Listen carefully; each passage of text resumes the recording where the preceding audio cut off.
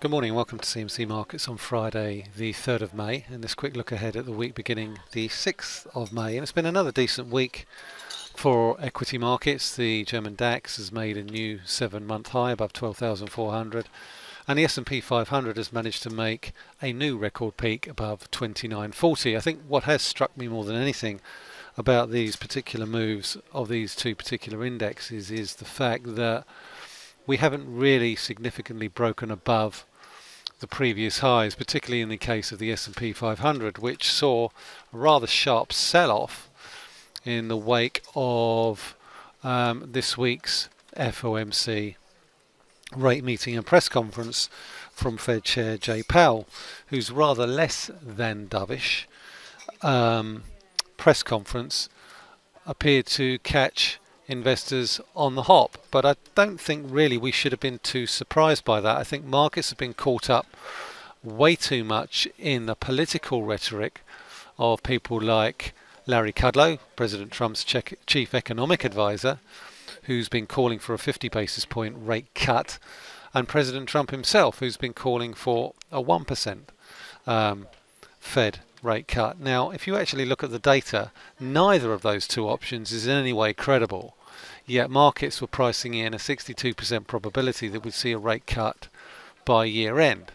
And I think Pres and I think Chair Powell's press conference was an effort to reorientate market expectations about the likelihood of a rate cut by year end to a much more realistic 50-50 outcome. If you actually look at the data, the direction of travel for the, of the US data, there's nothing to suggest that a rate cut is in any way imminent. And I think um, Chair Powell's press conference was an attempt to try and reorientate the um, balance of probabilities. Now, those probabilities could well change later today um, as we gear up for the US payrolls numbers. But certainly, if ADP payrolls are any guide, then the likelihood is we're going to get a fairly decent US payrolls number, or certainly something in the region of around about 180 to 190,000 new jobs. Now that could well change. Obviously this video will go out post payrolls and we will know more um, post payrolls than we are than we'll know now. Um, wages are once again likely to expected to come in around about 3.2 or 3.3 percent and the likelihood of that changing significantly is not expected to alter the calculus that much. What we're also seeing is a strengthening of the dollar and we can see that here in the context of the dollar index. Dollar index is up three days in a row. It's well above the 50, 100 and 200 day moving averages and the trend is very much clearly your friend in the case of the dollar index. So certainly dollar is still very much a case of buy dips. The US economy continues to outperform relative to the rest of the world and we have seen a bearish key day reversal on the S&P 500 which might suggest that further improvements in economic data could conversely actually have a negative effect on further aggressive upside in the S&P 500. So we'll have to see how it reacts around about 2950, 2960 area. But I think it's more than likely we'll have a Goldilocks scenario whereby the downside is limited to around about 2900 and we could well start to edge higher. But this key day reversal on the US markets is a warning sign that potentially we could be ripe for a little bit of a correction towards the downside. But I don't certainly don't think we'll, we'll be we'll be crashing off anytime soon, irrespective of the narrative that gets peddled out every time we come to May, which is sell in May and go away. Um, the trend is still clearly towards the upside. We're still making gradual new highs. I expect that to continue while we remain above 2,900 on the S&P and while we remain well above 12,000 on the German DAX. So it's very much buy the dips on equity markets in general. We can see also we can also see that in the context of the FTSE 100 as well. So what are we looking at? Um, for the week ahead because I think it's incumbent upon me to look towards the week ahead given that equity markets still remain by and large fairly resilient. Well, going to be looking towards UK GDP, for the first quarter as well as manufacturing and trade data and that's due out on the 10th of May. It's uh, due out towards the end of the week. We've also got China trade data for April and that could have a significant effect on the Australian dollar. And it's likely to be a busy week for the Australian dollar because we also have the RBA rate decision. So if we look at what I'm looking at for this week these are the key markets that I'm looking at for this week. The UK 100, FTSE 100, S&P 500, the German DAX, we've covered all of them and we're going to look at the Australian dollar. And the Australian dollar has been looking particularly weak in the past few weeks, no pun intended there, um, simply on the back of slightly weaker than expected economic data and is on the cusp of a very key support level in and around 69.80, 69.90. Now, we've had an awful lot of holidays this week. We've got Golden Week and China's had a couple of days off.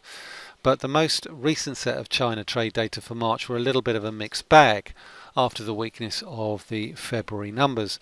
There was an improvement in the March export numbers which improved significantly with a rise of 14.2%. That was well above expectations and certainly a vast improvement on the 20% decline in February.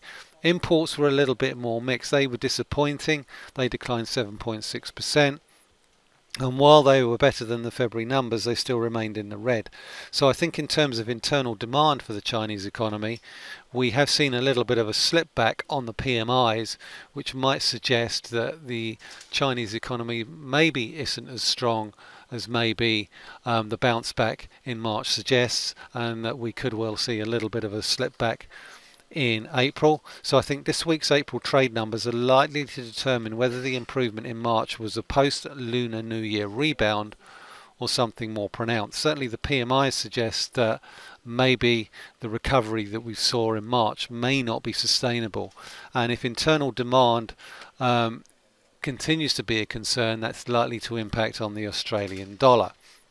Now, it's an RBA rate decision, and we've seen a surprise deterioration in recent Australian economic data, and that's prompted speculation that the RBA could well be minded to cut rates when they meet to discuss monetary policy on the 7th of May. Now, I think any move on monetary policy next week is highly unlikely. Why do I think that? Because it's an election in May, and central bankers, by definition, are a bit of a cautious bunch.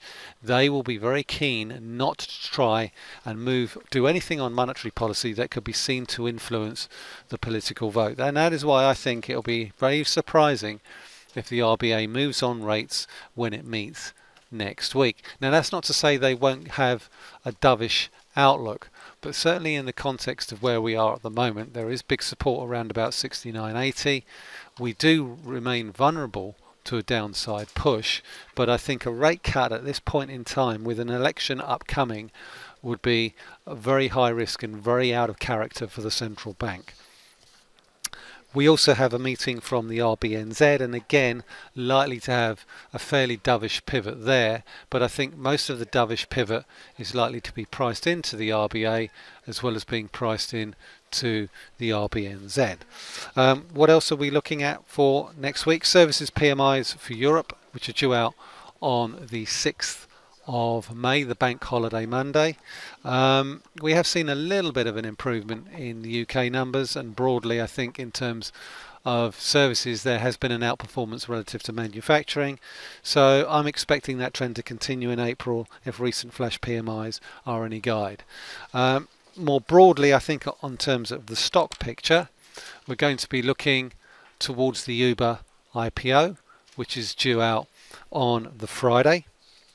And we also have the latest Q1 earnings from Lyft.